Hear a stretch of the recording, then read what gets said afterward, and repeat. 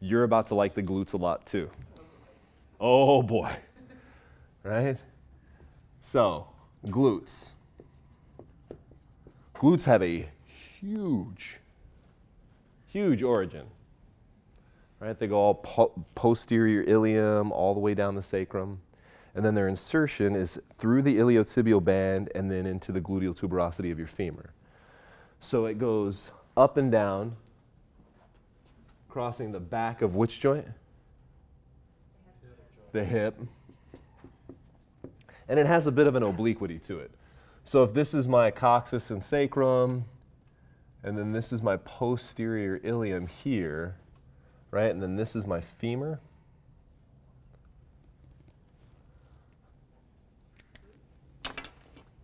Everybody see how that works? So this would be my hip socket, acetabulum, femoral head, right? My glutes don't just go like straight up and down this way. They kind of do this. Right? The big house. You know why the glutes are called the big house? You guys think I'm joking still. You guys all you guys are all waiting for the punchline of this joke. No, it's seriously my favorite muscle. The reason they're called the big house is your glutes are seriously the biggest muscle on your body. That's a fact. And if you ever get a chance to do cadaver work, yeah. It's a little gross, but definitely a great learning experience. What you'll notice is, is you cut into muscles and they're unbelievably small. The cross section, right? How thick a muscle is, is usually fairly small. You get into like the, the obliques and the rectus abdominis, and it doesn't matter how fit you are, like this, like a few sheets of paper, like the thickness of your workbook. And so you're cutting through all these spindly muscles, and then you get to the glutes. And it's one of the few muscles on the human body that you will go through scalpels, as in several, to try to cut it away so that you can see what's underneath. It is a thick muscle, not just on some people, on all people. all right? So, the reason it's called the big house is because it's also the roof, right? The most superficial muscle for all of the muscles of the posterior hip. You guys kind of catching my drift? What does this muscle do that would make it so important to be so big? What joint actions? Hip extension? Yeah. How important is hip extension to your life? Yeah, standing up. Go ahead. Get out of that chair without your glutes. yeah. Yeah, I mean, you can get to the floor. You can't get up, though. This is hip extension. When I take a step forward, what do I have to do? Hip extension. When I run, hip extension, right? What about when I jump? Hip extension. Let's flip this. How do I decelerate? How do I slow myself down when I walk down a flight of steps? How do I keep myself from going and just crashing to the ground? Huh? It's eccentric, right? It's flexion. It's hip flexion, but just like I explained on that exercise graph, is it forceful flexion by your hip flexors? No, it's gravity pushing me and my glute slowing me down so that I don't crush into it. Does that make sense? You guys starting to get it, starting to see why the glutes are so important?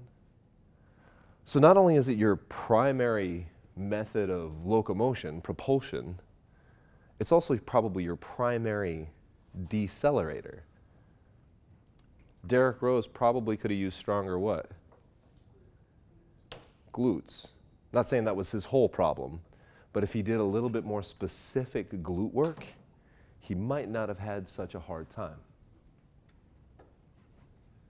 Right? So, I pose the question who would want a smaller butt?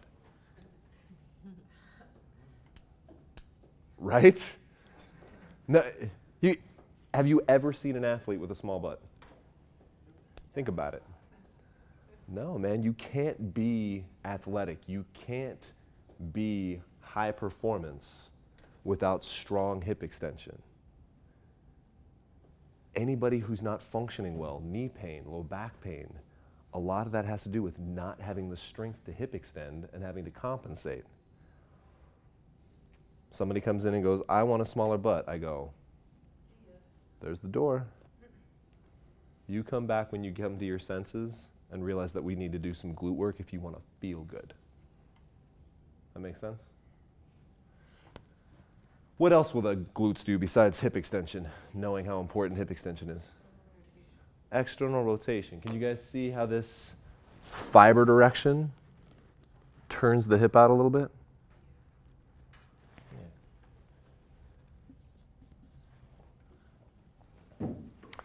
If this is my first favorite muscle, that would be my second.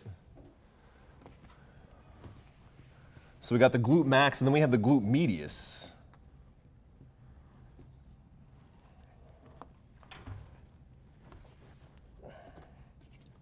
What joint does my glute medius cross? Your hip. But this one goes from a little lower on the back of the ilium right, into the greater trochanter. So what's its fiber direction? Up and down on kind of the side of my body, right? So what does it want to do to my hip? Abduct. And a little bit of external rotation. Yeah, it is a little posterior. You're right.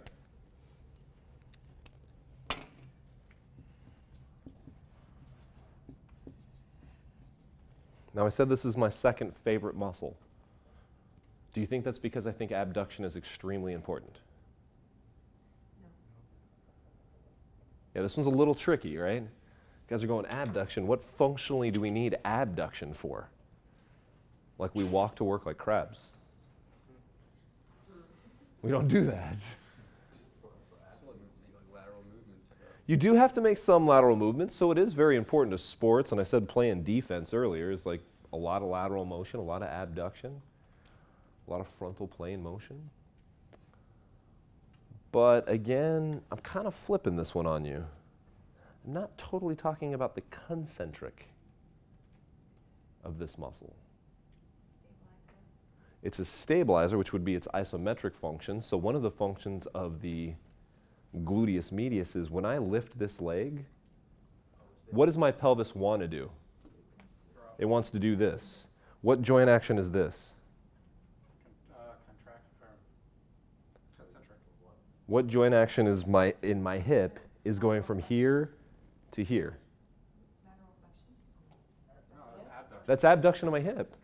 Right? It's just like doing this, only instead of femur on pelvis, right? Instead of, if this is my pelvis, instead of femur on pelvis abduction, this is pelvis on femur abduction, right? These two things are the same thing.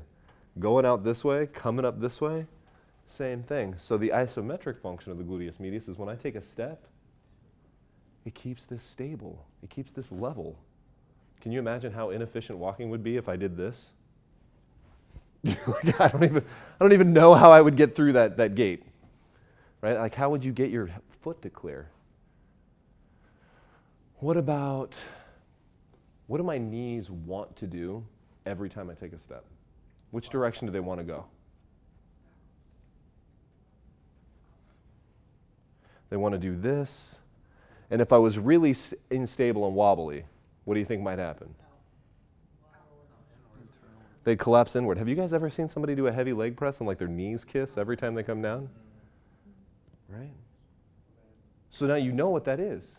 You guys can figure, you have enough information to figure out why they're doing that. If their knees adduct under that load, who's not strong enough? Their abductors to keep them held in neutral alignment.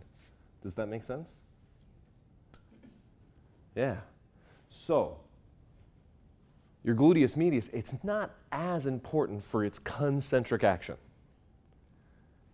What it is is your primary frontal plane stabilization mechanism. Do you guys follow me on that one? It keeps my pelvis from dropping isometrically during gait.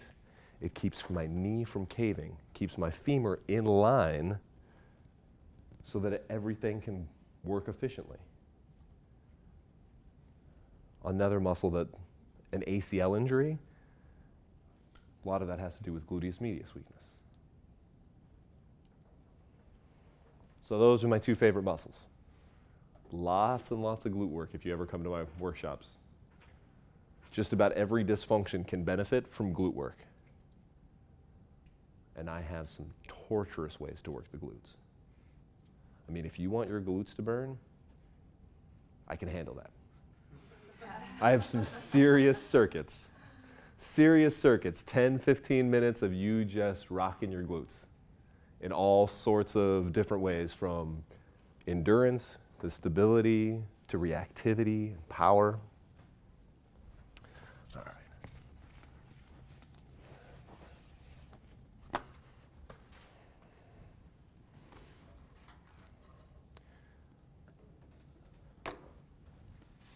Gluteus minimus, let's start there.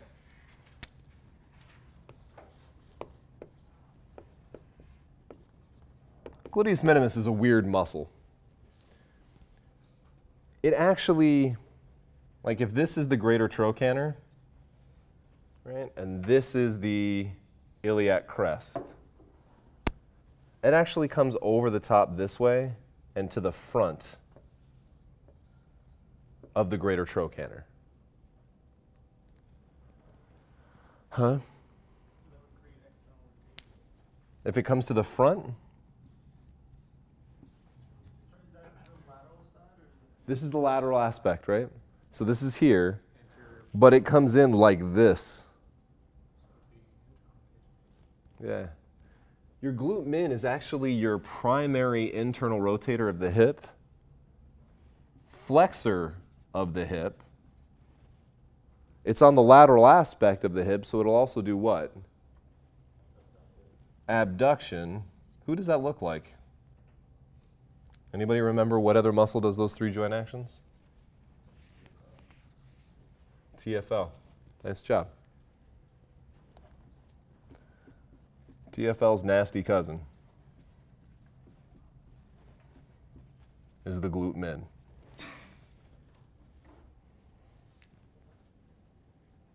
That makes sense? I know it's really hard to see from that picture.